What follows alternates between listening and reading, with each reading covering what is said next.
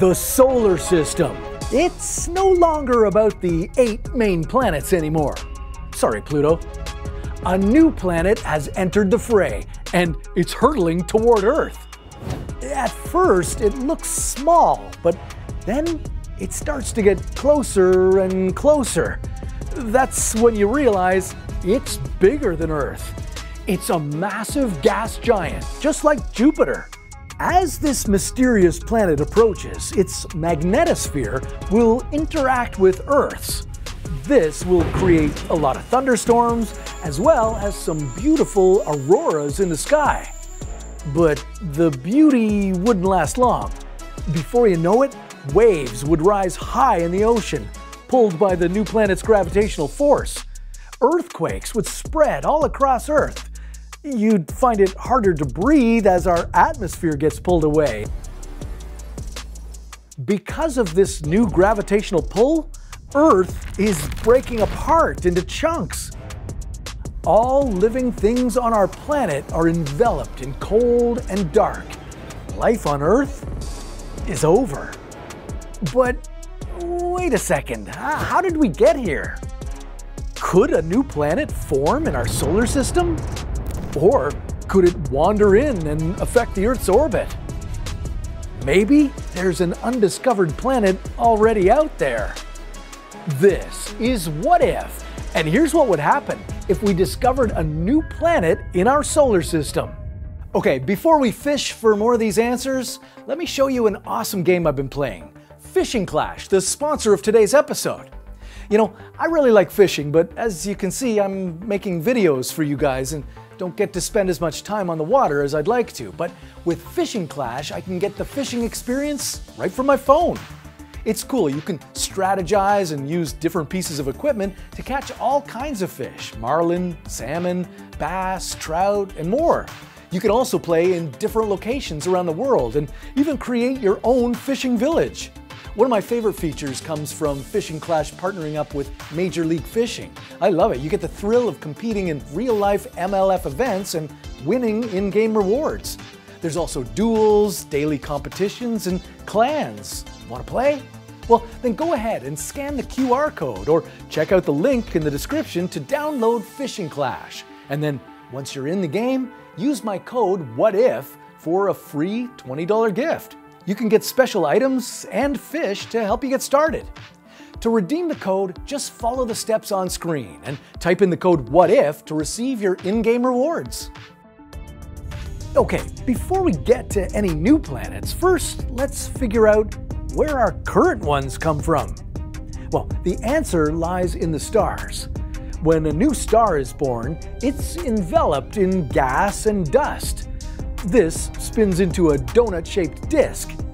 Planets start off as minuscule grains of dust, even smaller than the width of a single strand of hair. Hard to believe, I know, but it's true. Due to gravity and other forces, the tiny particles in the spinning disk collide. These collisions can make the dust clump together, first into pebble-sized chunks and then into bigger rocks.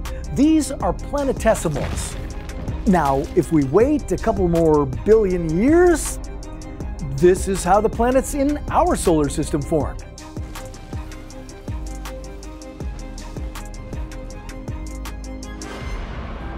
Well, no, not anymore, because after about 3 to 10 million years, solar winds from our sun blew away all the dust and gas used to make new planets. With the gas and dust dispersed into space, there's no chance of forming new planets in our solar system. If we did discover a new planet, it would be one that's already out there. We just need to find it. Well, luckily for us, there's speculation that a new planet might already exist in our solar system. This is Planet 9. Based on scientists' calculations, it may be sitting in the outer regions of our solar system, orbiting our Sun. So, why didn't we know that this planet exists? Did we just not see it because it's small? No, estimates put Planet 9 at the size of Neptune, with a mass of maybe 10 times that of Earth. We've missed it all this time because of its highly elongated orbit. This has put it at a distance in our solar system that's even further than Pluto. It doesn't really affect Earth. Its, its orbital path is 400 to 800 times the distance between the Earth and the Sun. And the time it takes for Planet 9 to make a full revolution around the Sun? 10,000 to 20,000 Earth years. Given this massive orbit, well, how did scientists even figure out it exists? Well, they looked closely at the Kuiper Belt. Situated beyond Neptune, this circumstellar disk contains asteroids, comets, and other icy objects. But scientists noticed something weird was going on here. Some of the dwarf planets and icy objects had orbits that clustered together in an unusual way. This could be explained if there was a mystery planet exerting its gravitational force, causing these objects to cluster. Could it be Planet 9? Well, we're not totally sure if it exists. Theoretically it does, but we haven't directly seen it yet. Now, this could change with the construction of the powerful Vera C. Rubin Observatory in Chile. It will be searching the skies. But if a planet can't form and we're not totally sure about Planet 9, then what are our options for finding a new planet in our solar system? Well, there could be a rogue planet. A rogue planet? Well, isn't that a planet that wears a rakish hat and an eye patch and a leather jacket? Well, not quite. Rogue planets are similar to regular planets, only they're not tied to a star. They first form around a young star, but then they might get kicked out of their solar system. This ejection could happen while different sized objects are whizzing past each other around the star. The heavier planet whizzing by may stay in orbit, throwing a planet with a lower mass out. That's one way a rogue is formed. Another way is when a star formation goes wrong. Maybe the star doesn't ignite and instead becomes a solitary gas giant. How many rogue planets could there be in our Milky Way galaxy? Well, one estimate puts it in the billions, but we don't know for sure. That's because rogue planets are very hard to detect. They give off very little light and at wavelengths incredibly hard to distinguish from background emissions. So, what would happen if one of these rogue planets suddenly entered our solar system? Well, that would depend on a couple of different factors the velocity of the planet, its size, and its trajectory. Now, we've already looked at what would happen if a Jupiter sized planet was headed for Earth. That was pretty ugly, but what if, instead of this planet smashing into us, it just wandered close to Earth? Well, that all depends on what we mean by close. If a rogue gas giant the size of Jupiter was wandering even 3 million kilometers away from Earth, well, terrible things would happen. Since Jupiter is 300 times the mass of Earth, it exerts an incredible gravitational force. As the planet got closer, we'd feel the effects of its magnetosphere. It would be filled with charged particles made up of electrons, protons, and tons of radiation. Then it would come for us here on Earth, destroying life on the planet. As this huge planet got even closer, massive tidal waves would rise up, causing catastrophic floods. So if the radiation hasn't killed us off yet, we'd drown. Then, Earth would crack open. Volcanoes would erupt. Lava everywhere. Apocalyptic stuff. Okay, so note to self no welcoming any rogue Jupiters into our neighborhood. Not even for a swing by. But forget these gas giants.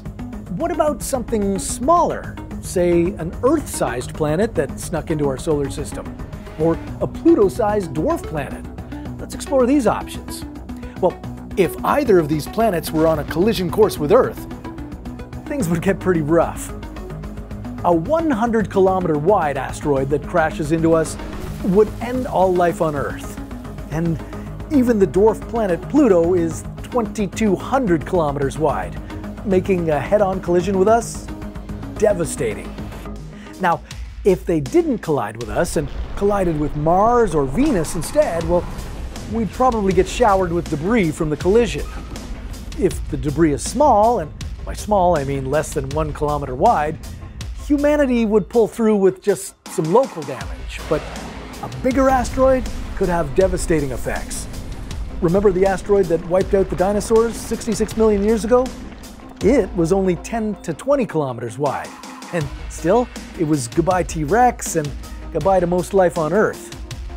But what are the odds of actually getting hit by a rogue planet? Well, one estimate puts it in the likelihood of less than 1 in 2 trillion within the next 1,000 years.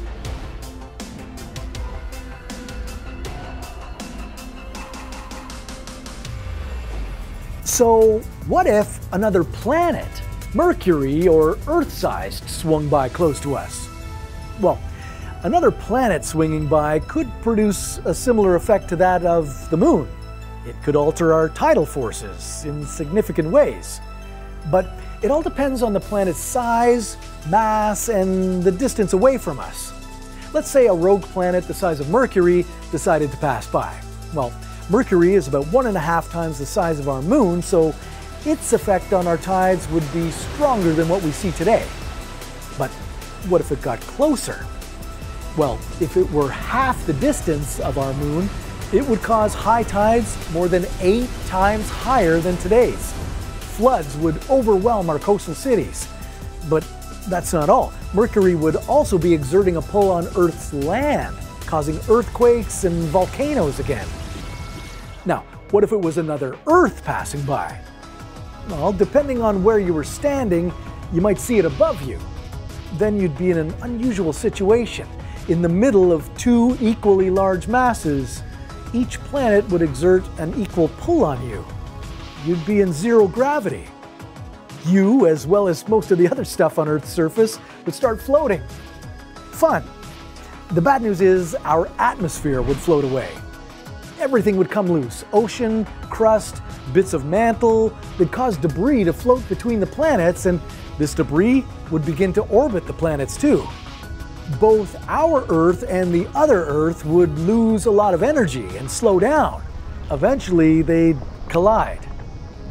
Okay, now how about another much more fun possibility? Like, could another Earth jump into our orbit and co orbit with us? That could be cool. Maybe we'd have another place to call home. Maybe the two Earths would share the same circular orbit. But there's another intriguing possibility. Co-orbiting Earths might follow horseshoe orbits. Each planet orbits the Sun in its own horseshoe track, with the two half circles facing each other. While this might sound unlikely, we do observe real-life horseshoe orbits. Saturn's moons, Janus and Epimetheus, follow horseshoe orbits about 150,000 kilometers from the planet. So, in theory, if we had two Earths, they could orbit in this horseshoe pattern. Now, how long would it take to travel along our horseshoe and come near our twin? One estimate puts it at about 33 years. And with neither Earth completing a full revolution around the Sun, well, one of us would be in perpetual summer and the other in perpetual winter. I know which one I want to live in. Now, the chance of this happening with a new rogue planet that just wandered by? Probably close to zero, but I gotta say, booking a vacation on another Earth does sound pretty cool. So let's say we discover a new planet inside our solar system, and lucky for us, it's not going to hit any of our planets. Are we safe? What if it's heading for a direct collision with the Sun? Well, then there are three possibilities, depending on the crash site and the momentum with which the crash happens. The collision could happen in the outermost layer of the Sun. If a planet the size of Jupiter crashed into the Sun, it would give off an incredible amount of kinetic energy. It could make the Sun brighter for tens of thousands of years. Another possibility is a crash right into the center of the Sun. Now, if this happened, there would be less energy in the outer layer and smaller effects on the sun's brightness. But here's another scenario. What if, for some reason, rolling Jupiter slowed down as it approached the sun? Well, then there would be less kinetic energy to transfer. The planet would get shredded. Its core might form a disk around the giant ball of fire, blocking the sun's light. The amount of sunlight reaching Earth could be reduced by up to 20%. In addition, the amount of the sun's radiation hitting Earth would change. It's unclear whether it would increase or decrease. All depends on the type of disk that forms. Another frightening scenario that could happen what if a new rogue planet in our solar system shoved Earth out of orbit? If this happened, there are a number of things that could change. With Earth having a new orbital path, our seasons would differ significantly. Maybe we'd experience a new ice age. Or our summers would become scalding hot.